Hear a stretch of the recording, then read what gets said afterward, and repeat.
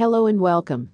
Rihanna wore a daring outfit on Saturday night as she dined at the New York City restaurant Caviar Russe, which has received seven Michelin stars. The Umbrella vocalist, 35, who is anticipating her second kid with her accomplice A$AP Rocky, was wearing head to toe Chanel in a sign of approval for the subject of Monday's Met celebration. The topic for the 2023 Met function is Karl Lagerfeld.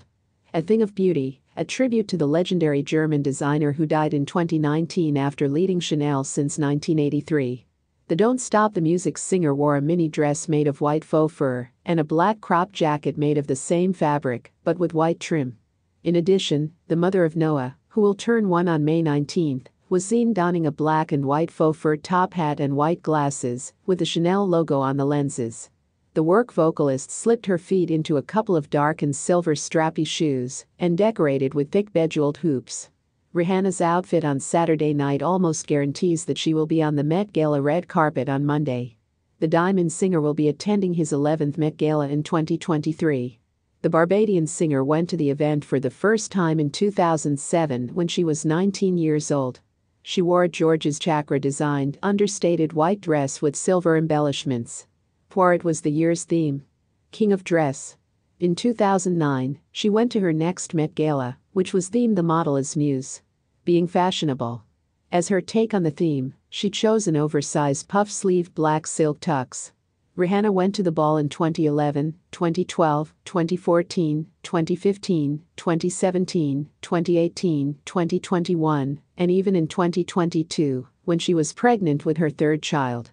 However, for the theme of heavenly bodies in 2018, this was her look. That will live on in history in terms of fashion and the Catholic imagination.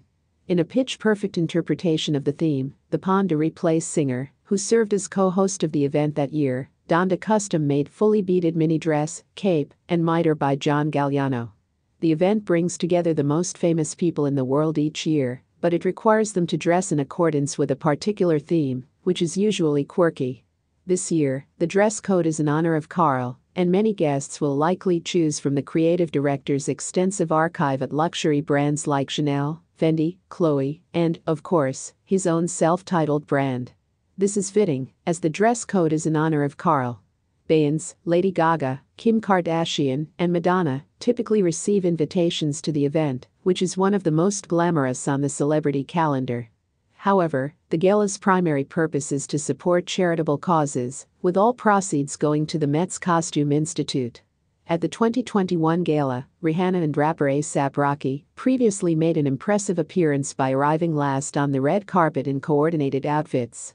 During the singer's performance as the headliner at the 2023 Super Bowl halftime show, the couple revealed that they were expecting their second child.